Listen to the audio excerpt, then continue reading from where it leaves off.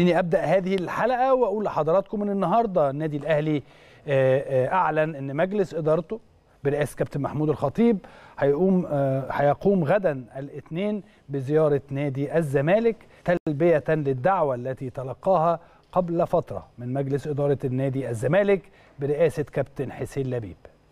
تأتي هذه الزيارة الودية ترسيخا للعلاقات الوطيدة ما بين الناديين الكبيرين وجماهيرهما العريقة على مر العصور والأجيال.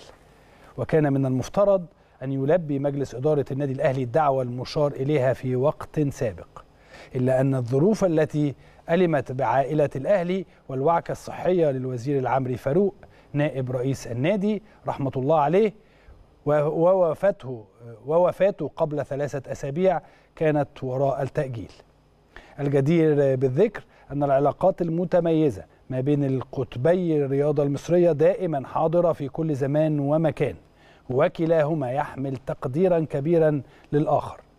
على الرغم من المنافسة الشريفة ما بين الناديين في مختلف اللعبات الرياضية كما أن الفترة الأخيرة شهدت العديد من المواقف الإيجابية التي تعكس أواصر الحب والروح الطيبة ما بين الكيانات الرياضية الكبيرة التي تسهم في دعم ومساندة كل المنتخبات الوطنية.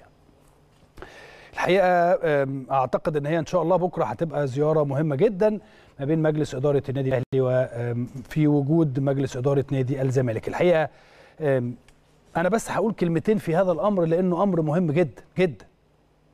الطبيعي اللي إحنا شايفينه الطبيعي اللي إحنا شايفينه بالمناسبة ما كان غير طبيعي كان اللي بيحصل الفترات السابقة وأنا الحقيقة مش عايز أتكلم ولو تاخدوا بال حضراتكم إن إحنا ما بنتكلمش على هذه الأمور خالص.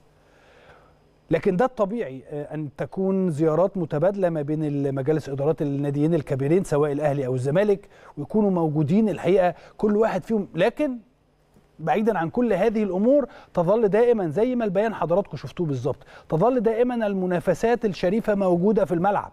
تظل دائما المنافسات ما بين الناديين الكبيرين في الملعب هي الأساس في كل شيء ولكن المنافسات الرياضية الشريفة المنافسات الرياضية الشريفة بعيدا عن كل حاجة في الصفقات في الألعاب في السلة في الطايرة في الهاندبول في كل حاجة كل حاجة هذا هو الأهلي وهذا هو الزمالك. هذا هو الأهلي بأرقامه وهذا هو الزمالك بأرقامه. هذه هي قطبي كرة القدم المصرية.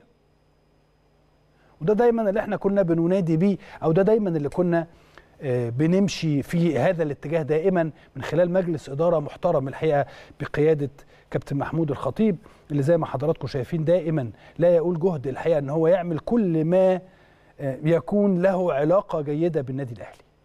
وهو ده المهم خلال الفترة اللي جاية. أنا بس حبيت أقول الكلمتين دول بسرعة لأنهم كلمتين مهمين الحقيقة.